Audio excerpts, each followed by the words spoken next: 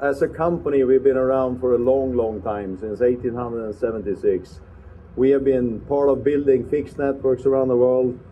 We've been a major force in bringing mobile telephony to 4 billion people. The, the mobile phone is actually more common in the world than a toothbrush. That's worth thinking about.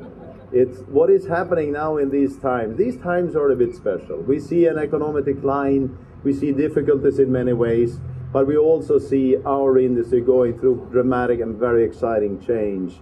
We are converging the the mobile and, and fixed businesses, and we are converging telephony and internet. And, and that opens for a lot of opportunities. I remember one of my discussions with Eric Schmidt at Google when he said that you can divide the world in two groups.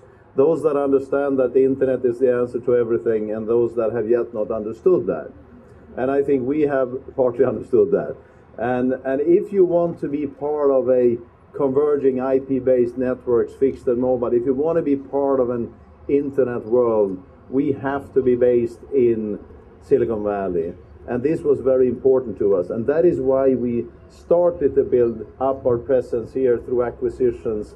And, and uh, it may not be in this very quickly changing industry that, that in every place we are in the world that we have always increasing number of employees because there are activities that disappear and others are being built. I think this is a place that we will grow.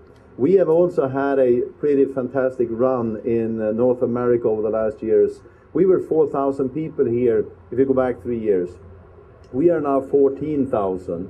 That is to be compared to the, that is, by the way, I think about as many as Google have in North America. So we're not small here we have that is to be compared also to the 18,000 that we have in Sweden, which is our home turf. So North America has become an epicenter of, of Ericsson of importance.